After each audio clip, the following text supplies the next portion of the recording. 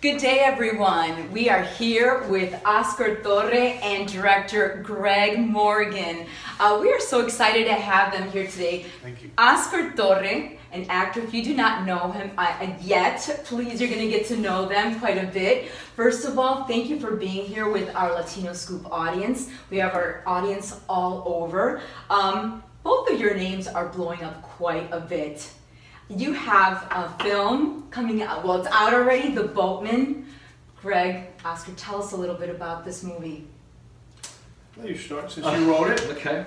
Um, it's it's a movie, a drama about this coyote that takes people across the border. Um, and there's much more to it. It's kind of like a ghost story involved there, and um, I think I'll let let this man You're take over from off. there. I'm gonna hand that off right there.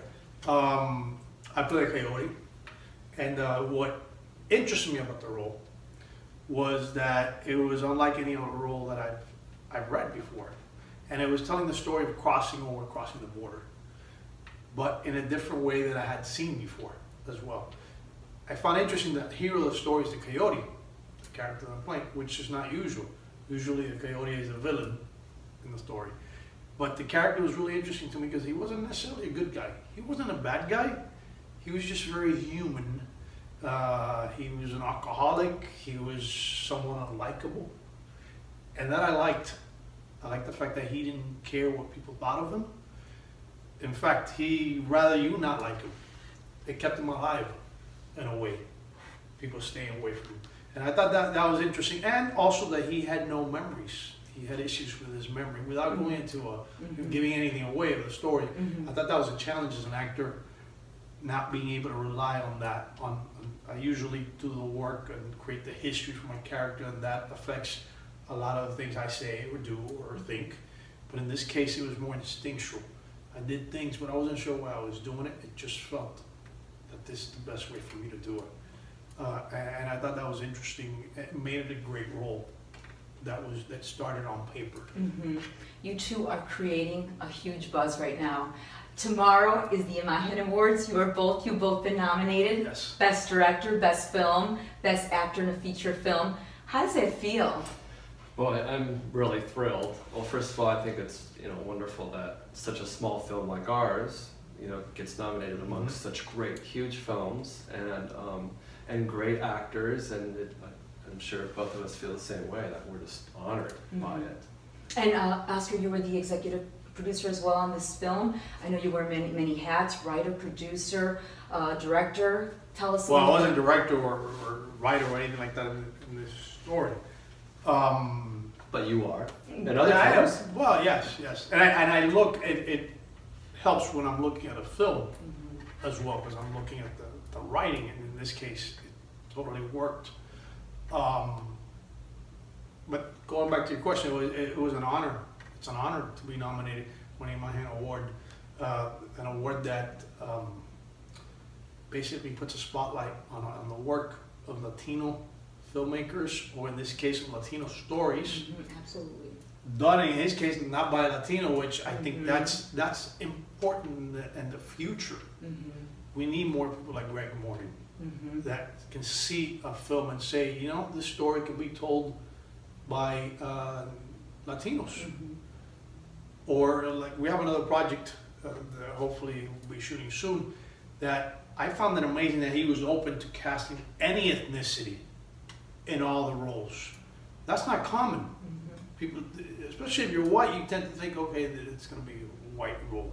Should be mainly, maybe I'll cast a Latino. Or Because you've been cast for different characters. I have, I have, and sometimes I've been cast great. with different characters, and they change the name to Latino, Mhm. and it wasn't when I, I was first cast, which is a blessing. I'm not complaining, and I've been very blessed to to work, but also I'm seeing that a lot of times movies and TV do not reflect the society that we live in. Mhm.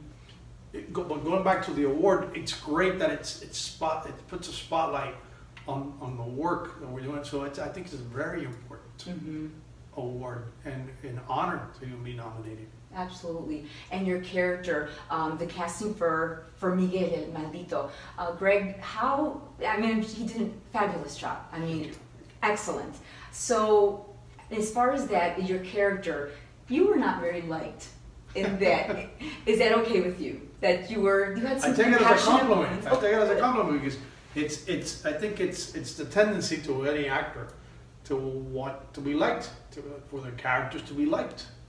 We all want to be liked, and uh, but that was something that interested me in, the, in this character that he wasn't a likable person. But despite not being likable, he did the right thing. He had compassion. Uh, would I want to hang out with him in real life? No. I would avoid him. I would, you know, I see him in a restaurant, I'd go the other way. Mhm. Because he had that, he had that, that thing about him that, that I found interesting.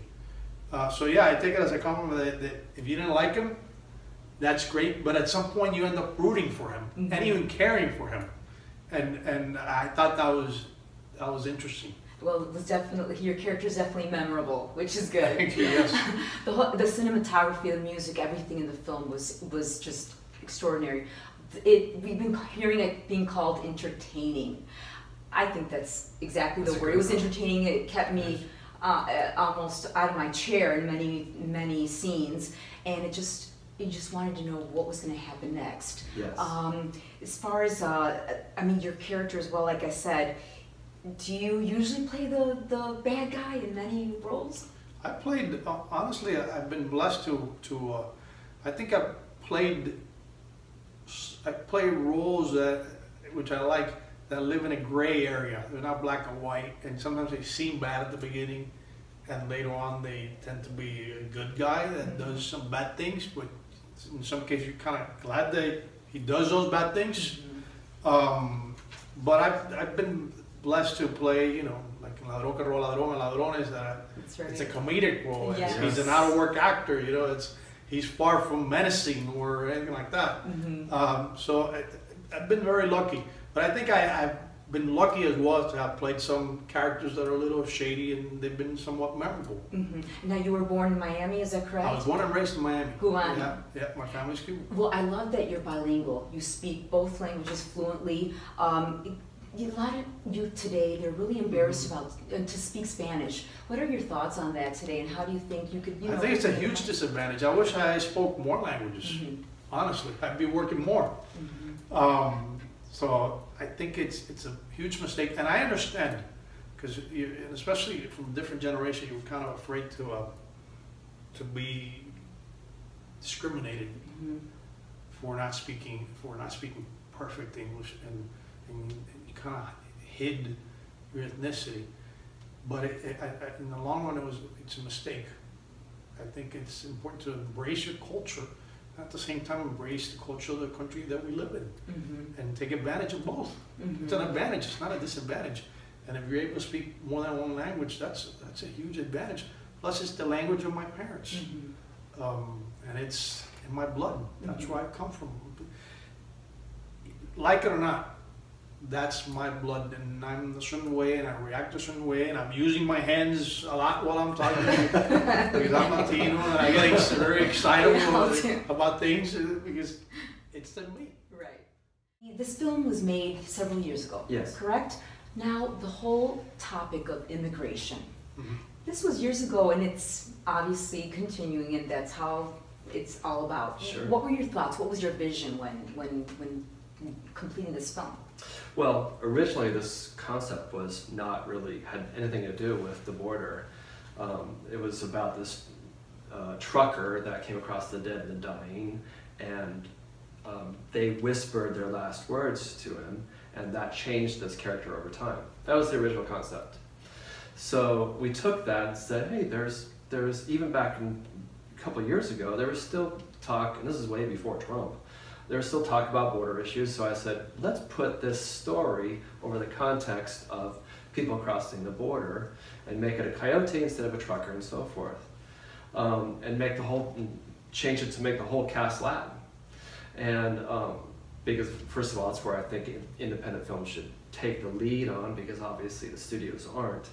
So um, that's what it came from. But now, with the Trump issue, it's just completely blown up. It was really, really kind of like um, we weren't expecting it. Wow, it's been getting so much, so many great reviews, and they're they are talking about that. And right now, it's people are feeling that, which is good. It kind of came at the right time. Sure. Mhm. But I think one of the great things that, that Greg did Mm-hmm. with the film was that it shows the reality, and, and even my character says it in the story. It shows the reality of the people that come across the border, and it, he's not taking, he's not talking politics. This is the reality of people that, in the most part, that are, that come across the border, that come to the U.S. are coming for a better life. Mhm. They're coming because they want a better life. They want to be, and sometimes not even for themselves, for their children to Mhm. be able to give a better Absolutely. life to them, for them to have a future. And this was real. This is this It's is real. I mean, it doesn't matter how you feel politically about the Yeah. issue. Exactly. This is the reality of the people that are coming across the border. They want a better life. They're running away from, and, and you think about Mexico, narcos and, and poverty, and who wouldn't do the same thing being put in that position? And I think the film highlights and, and shows that in a very human way Mhm. and that's important. And I think it, it, it helps the audience have empathy. And here in California, we live close to the border, you know the story, and we all know people. But in other parts of the U.S., very Yeah. obvious with what's going on in the news, they don't feel the same way, and they don't see the world the same way. And sometimes, in, in- when you tell a story in an entertaining kind of way, it makes people think. They, they lower their guard a little Mhm. and makes people think about, okay, you know, the- the- I, I can relate to that. I can identify with somebody who wants to give their family. The guy who lives in, I don't know, Iowa or something, and has two jobs to support his family, can relate to the same thing that somebody that's crossing the border with their family, and it's risking their life doing this for the same reasons to give their family a better life. True. This film has gone so well everywhere, film festivals. What is next for you both together? Because I'm sure you're being hit up right now with, can I be in your next film? Am I correct, both of you that produce and direct? Well, it's funny because uh, I did write a script that has gotten lots of praise, and I specifically wrote a role for him in it.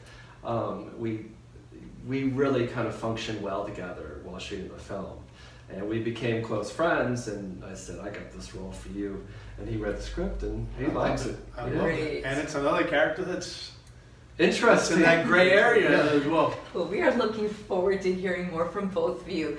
Thank we you. congratulate you already. You're both winners, in our opinion. Um, Thank you very well, tomorrow we wish you luck. We're going to send you positive vibes.